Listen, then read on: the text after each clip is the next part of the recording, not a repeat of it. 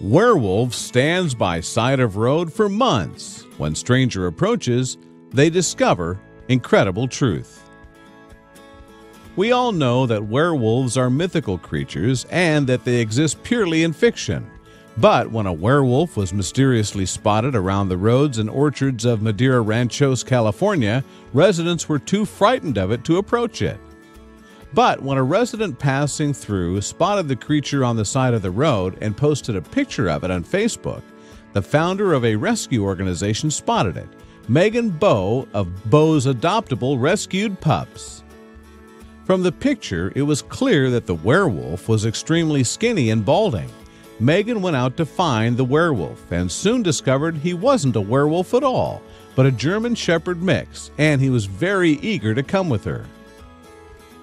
She named him King and rushed him to an emergency vet clinic where it was found that the pup was merely one year old and had a broken tail and pelvis, scabies, and multiple other conditions. Vets guessed he'd been hit by a car, leading to the injuries which were healing badly. The injuries left him unable to fend for himself and find food or water.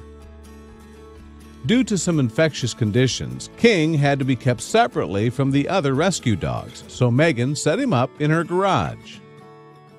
She slowly fed him small portions for meals, increasing them as they went, to help him gain weight and strength so he could undergo the necessary operations for his broken bones. When he finally reached that stage, surgery went smoothly.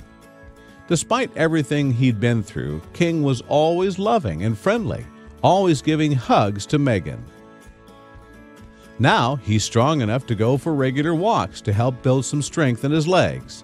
Now he's enjoying his time in his new home.